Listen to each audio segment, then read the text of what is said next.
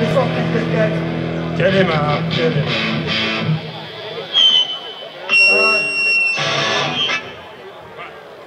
Uh, we released a fucking EP, our first release was Deconstructive Surgery. We're about to play two little fucking songs from that EP. Uh, fuck the Tory band, Tory party, the fucking nonsense enabling, little fucking dickhead!